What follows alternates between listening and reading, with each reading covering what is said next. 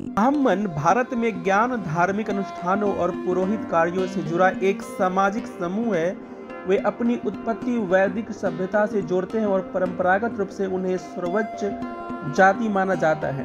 क्षेत्रीय और व्यावसायिक भेदों के आधार पर ब्राह्मणों के विभिन्न उप समूह हैं, जिनमें से प्रत्येक के अपने रीति रिवाज और प्रथाएँ हैं। इसी क्रम में हम यहाँ जानेंगे कि 10 प्रकार के ब्राह्मण कौन कौन से हैं। इस वीडियो के मुख्य विषय पर बात करने से पहले ब्राह्मणों की उत्पत्ति के बारे में जानना आवश्यक है। ऋग्वेद के पुरुष सूक्त के अनुसार ब्राह्मण, क्षत्रिय, वैश्य और शूद्र क्रमशः विराट पुरुष के मुख, भुजा, जंगा और पैर से उत्पन्न हुए। इस तरह से ब्राह्मण एक वर्ण के रूप में अस्तित्व में आए। हमनौतपति मार्तंड नामक ग्रंथ में कहा गया है कि प्रारंभ में सभी ब्राह्मण एक थे, उनमें कोई विभाजन नहीं था। समय के साथ क्षेत्रीय और व्यावसायिक भेदों के आधार पर ब्राह्मण समुदाय के भीतर विभिन्न उपसमूह उभरे। इन समूहों के अपने विशिष्ट रीति रिवाज प्रथाएँ और सांस्कृतिक पहचान है। आइए अब जानते हैं दस प्रकार के ब्राह्मण कौन कौन से हैं।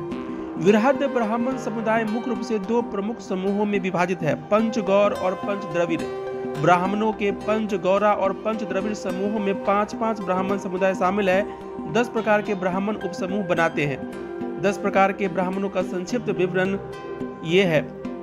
पंचगौर, राज तरंगिणी कश्मीरी ब्राह्मण विद्वान कलहन द्वारा बारहवीं शताब्दी ईसा पूर्व के आसपास लिखा गया एक ऐतिहासिक क्रॉनिकल है।